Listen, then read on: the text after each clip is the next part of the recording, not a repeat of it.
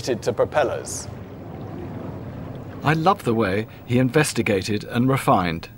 He set up a tug of war between the Rattler, driven by a propeller or screw, and the Alecto, which was a paddle ship.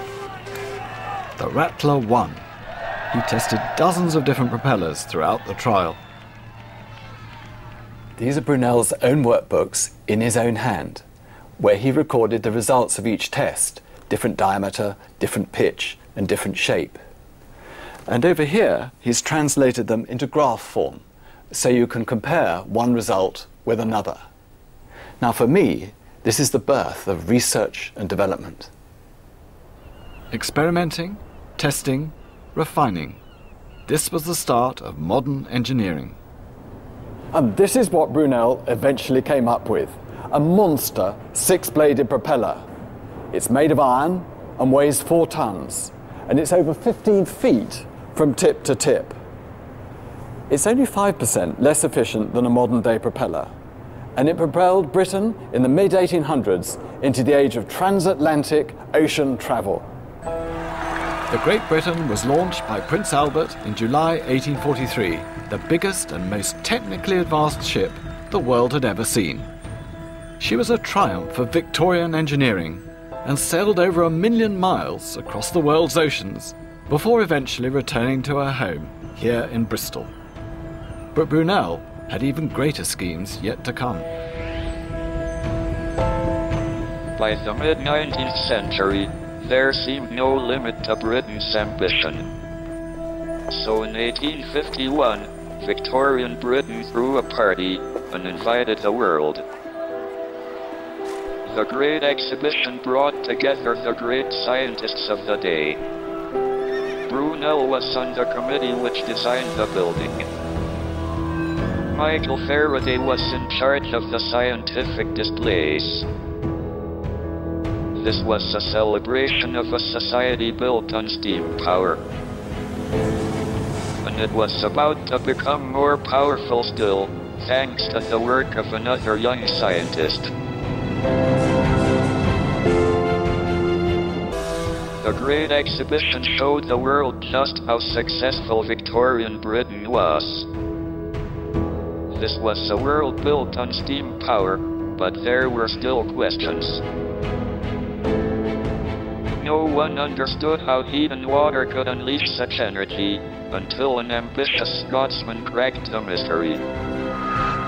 His name was William Thomson.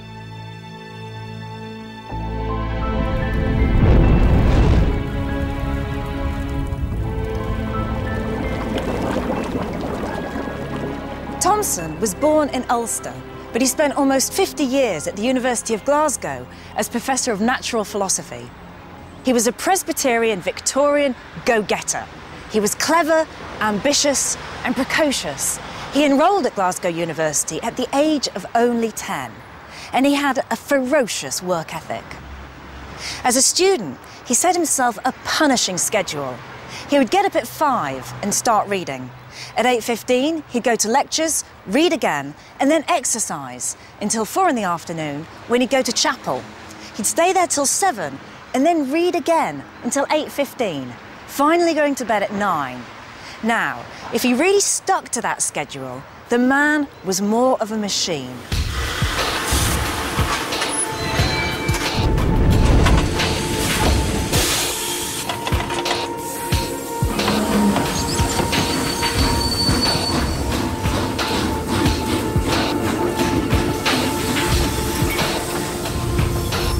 Heat was Thomson's big idea.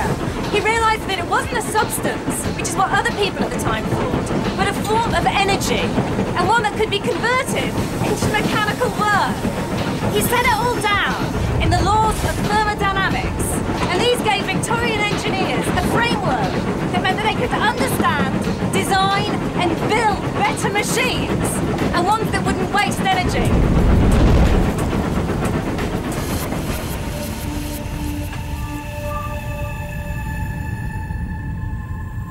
As a scientist, Thomson's interest in heat naturally included an interest in cold. His formulation of absolute zero became an essential scientific tool. and his ideas about heat exchange are used by almost every area of science. But Thomson was soon to become as famous for his inventions as for his scientific breakthroughs. William Thomson formulated his famous temperature scale in 1848. In that same year, another of our geniuses was just setting out on his own great adventure.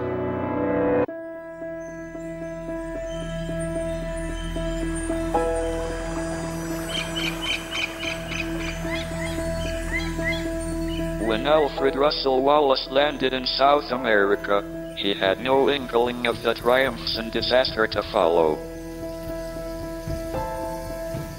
Wallace embarked on a perilous series of collecting expeditions, recruiting local help as he went.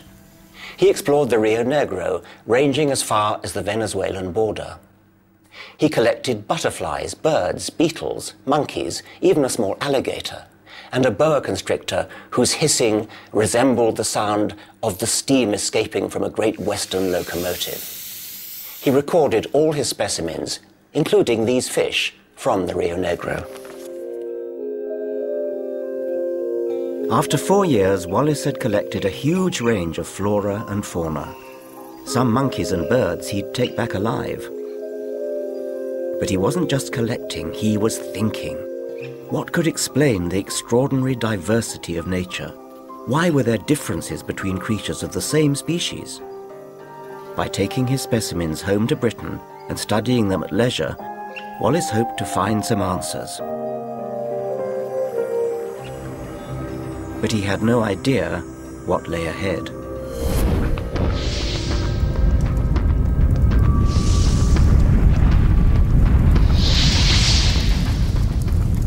Three weeks out, tragedy struck. The ship caught fire. Wallace was able to save only a few drawings and a couple of shirts before taking to a lifeboat. From there, he had to watch his living monkeys and parrots perish in the flames all the fruits of his labors, all his other drawings, his journals, his specimens went down with the ship. Wallace himself spent 10 days in an open boat before being rescued. No wonder he wrote to a friend, You will see that I have some need of philosophic resignation to bear my fate with patience and equanimity. Meanwhile, Charles Darwin was safely tucked away at Down House in the middle of an eight-year study of barnacles, a study that helped cement his reputation. His ideas were developing, but still he didn't publish. Wallace had to start again. He returned to England to recover and raise more funds. He hadn't stopped thinking about the differences between species and what might cause them. A year and a half later, he was able to set off on a second trip, this time to Asia, the Malay archipelago. And it was here he had his breakthrough moment. One day, feverish with malaria in his lonely hut, inspiration came to him. Suddenly, as he later recalled it, he remembered reading Malthus's essay on population, with its emphasis on overpopulation and the checks that must inevitably result war, famine, disease. Wallace realized that these checks must also apply in nature. Here, he had a mechanism to drive the modification of species in the struggle for existence, and Wallace actually used that phrase, those individuals best equipped with strength, cunning, speed, would pass on their characteristics to future generations, and the species would improve. Within two hours, Wallace had sketched out his theory. In the following two nights, he wrote it out fully, and then he sent it by the very next post to Charles Darwin.